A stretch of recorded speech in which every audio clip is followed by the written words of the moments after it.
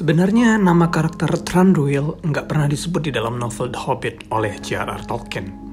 Nama Thranduil diciptakan oleh Peter Jackson dan penulis The Lord of the Rings yang bahkan sudah dikenalkan di trilogi pertama The Lord of the Rings.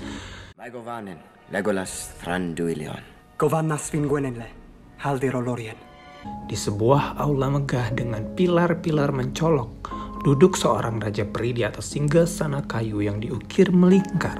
Di sanalah duduk seorang raja peri, Thranduil.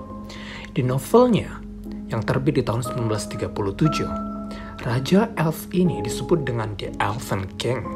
Adalah karakter yang sama kuatnya dengan Galadriel, namun punya segudang kompleksitas.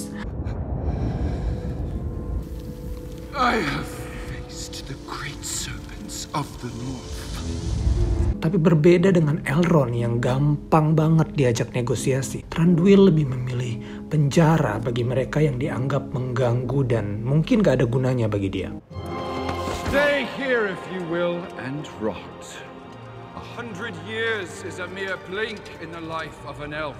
Thranduil lebih suka berada di istananya, punya ketertarikan dengan perhiasan dan harta, namun membangun benteng pertahanan yang kuat bagi para musuh.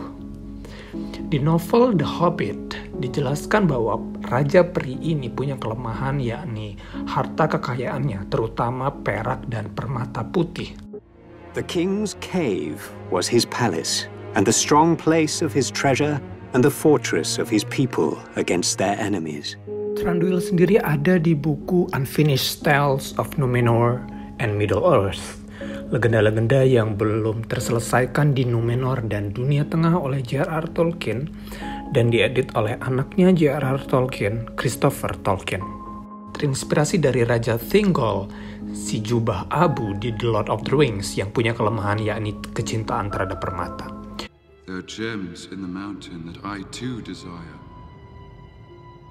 White gems of pure starlight. Di novel awal-awal kisahnya, oleh penulisnya sendiri J.R.R. Tolkien, terdapat kalimat yang menjelaskan bahwa di masa lalu para peri beberapa kali berperang dengan bangsa kurcaci, di mana satu di antara lainnya menuduh mencuri harta karun satu sama lain. Raja Thingol dari bangsa peri terbunuh di salah satu perang dan para peri membalas dengan membalas dendam. Kurcaci pun kalah di pertempuran. Ini juga yang membuat kenapa Gimli dan Legolas saling benci tanpa alasan satu sama lain ketika mereka pertama kali bertemu. Have you heard nothing Lord Elrond has said? The ring must be destroyed. And I suppose you think you're the one to do it. No one trust! I will be dead before I see the ring in the hands of an elf.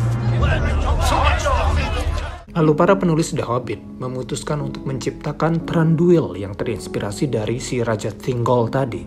Namun kelemahan ini dirasa masih kurang kuat, terutama karena karakter Thranduil yang sangat egois dan begitu angkuh. It has been a long time since Thorin Oakenshield traveled so far east. For what purpose? Where does your journey end? Sehingga diciptakanlah alasan bahwa Thranduil punya satu alasan besar kenapa memerintahkan pasukannya untuk berperang menuju Erebor. Yakni alasannya adalah istrinya sendiri, wanita yang dicintainya yang mati. Pada awalnya Thranduil dan Raja Kurcaci yakni Tror Oakenshield, kakeknya si Thorin Oakenshield, sebenarnya adalah sekutu. I warned your grandfather of what his greed would summon, but he would not listen. You are just like him. Namun karena perhiasan tersebut yang mereka saling tuduh satu sama lain tadi, dan Thranduil tidak mendapatkan permata putih yang seharusnya menjadi kenangan terakhir untuk istrinya. Thranduil menolak menolong para kurcaci ketika naga Smaug datang dan menguasai Erebor. You have found. Di bukunya sendiri yakni The Hobbit, Legolas pun sama seperti Thranduil, tidak pernah disebut. Namun penulis dan sutradara The Hobbit memutuskan untuk masukkan Legolas di film The Hobbit untuk menunjukkan hubungan ayah dan anak laki-laki di kerajaan peri yang sebelumnya belum pernah diceritakan di trilogi The Lord of the Rings, sekaligus menceritakan kisah masa lalu dari Legolas. Ayahnya Legolas, yakni Thranduil yang sangat berbeda dengan Elrond dan Galadriel yang baik hati dan sangat ramah. Thranduil diceritakan sebagai pemimpin yang superior, suka memerintah. Ibaratnya dia seperti guru killer yang ditakuti dan mengintimidasi murid-muridnya. The flames of war are upon you. Why did you do that? I freed his wretched head from his miserable shoulders. There was nothing more he could tell me. Pada awal perkembangan karakter Thranduil, ada sedikit ide dari Guillermo del Toro yang adalah penulis dan sutradara dari Hellboy dan Pan's Labyrinth ya. Thranduil adalah perlawanan dari Elrond juga. Dia nggak akan berdiskusi dan menerima pendapat dari para penyihir, kurcaci, dan hobbit karena keegoisan dan kesuperioritasannya sebagai raja. Bahkan kesuperioriannya itu sebagai seorang raja digambarkan melalui mahkotanya yang lancip, angkuh, dan sangat tajam.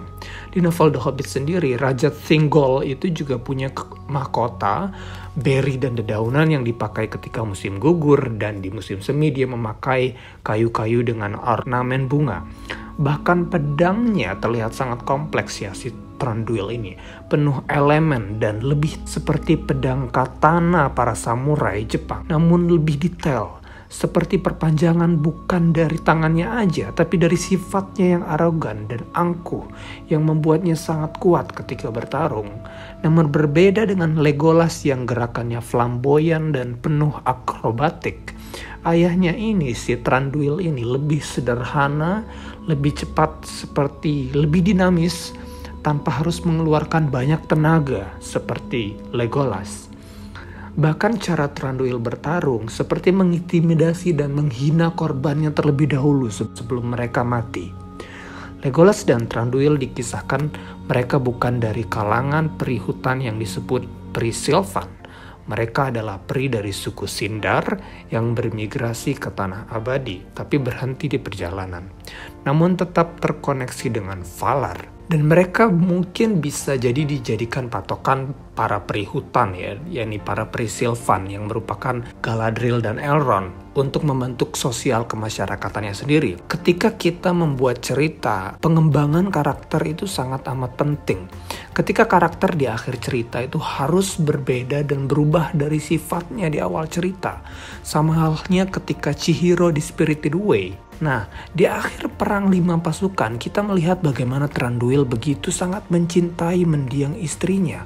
Inilah yang menggerakkan dia untuk pergi ke Erebor. Bukan keinginannya yang jinin sebenarnya, bukan alasan utamanya untuk membantu, tapi ada agenda di baliknya yakni untuk mengambil permata putih yang tidak sempat dipakai istrinya yang sekarang berada di Erebor tadi dan dijaga oleh Smaug tapi karena istrinya sudah duluan mati akhirnya si mahkota permata putih nggak sampai untuk dipakai olehnya Kecintaannya terhadap istrinya pun ditunjukkan ketika ia membangun patung istrinya, ibu dari Legolas di pintu masuk Mirkwood untuk mengenang cintanya yang begitu besar.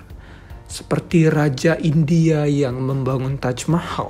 Tapi di akhir pertempuran, setelah disadarkan oleh Gandalf bahwa anaknya jauh, jauh, jauh, jauh lebih berharga dari sekedar permata putih dan di mana dia melihat banyak sekali pasukan peri yang terbunuh serta melihat Tauriel kehilangan Kili yang tewas, hatinya seperti batu tadi akhirnya luluh.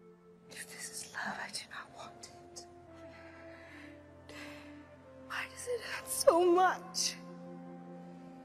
Because it was